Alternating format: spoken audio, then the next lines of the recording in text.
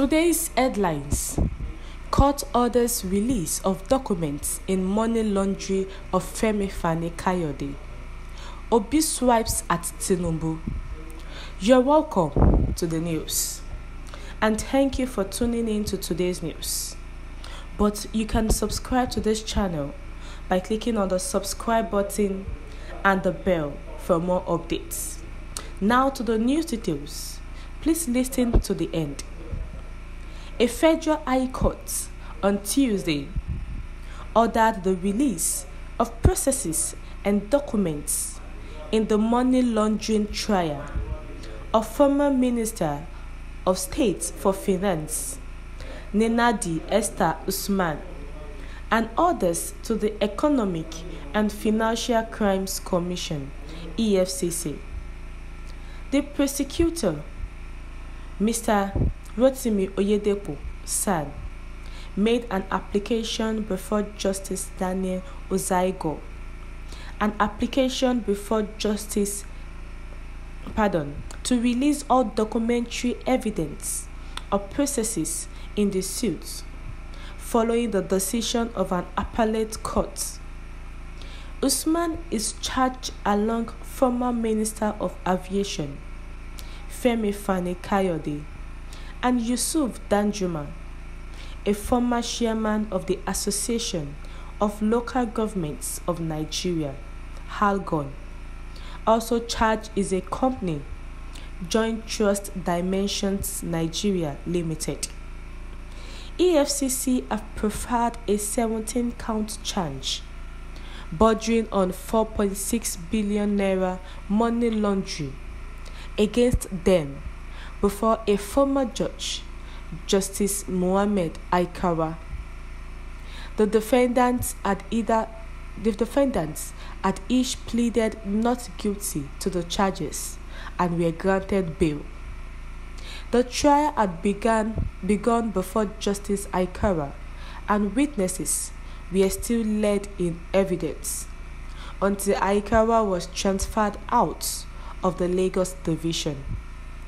The, new, the charge was consequently reassigned to a new judge, Justice Daniel Osiagor, and they were cost, so consequently rearranged on June 24, 2022. Again, the trial commenced in the case, and witnesses were still giving evidence before the courts. However, following an appeal filed by Usman seeking a transfer on the case on jurisdictional grounds. The Court of Appeal gave a ruling in favor of the defendants. When the case was called on Tuesday, Oyedepo announced an appearance for the prosecution and informed the court of the appellate court's decision directing that the case be transferred to the Abuja division of the courts. He also informed the courts that it is still the case of the prosecution, adding that the prosecution is still leading evidence as PW1 was still testifying. He consequently sought an application for the release of all documentary evidence and exhibits in the case to the prosecution to save time and avoid delay.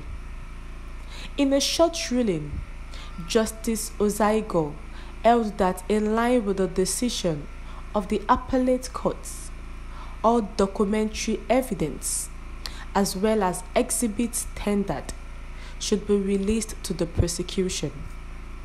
In the charge, the defendants were alleged to have committed the offences between January and March 2015 in Lagos. They were alleged to have at various times unlawfully retained over 4.6 billion naira, which they reasonably ought to have known formed part of the proceeds of unlawful acts of stealing and corruption. Meanwhile, in the count 15 to 17, Femi Fani Kayode and one Olubode Oke, who is said to be at large were alleged to have made cash payments of about 30 million naira in excess of the amount allowed by law without going through a financial institution. They said payments were alleged to have been made to one Paste Postal Co. PPC of number 125 Lewis Street, Lagos, in excess of amounts allowed by law. All offences were said to have contravened the provisions of Section 15, subsection 3 and 4, Section 16, subsection 2b, and Section 16, subsection 5 of the Money Laundering Prohibition Amendment Act 2012. Meanwhile, Peter Obi assured Tinubu, saying that no serious leader will leave Nigeria to rest. No serious leader will go on rest. Remember that the president elect left Nigeria after the campaigns and election to France to rest. So Peter Obi assured him that a serious a serious leader is not supposed to do so. And he urged that Nigerians should not be divided based on religion or politics.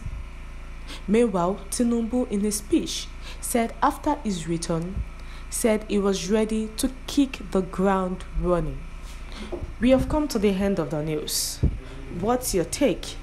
Please share your comment in the comment section. Thank you.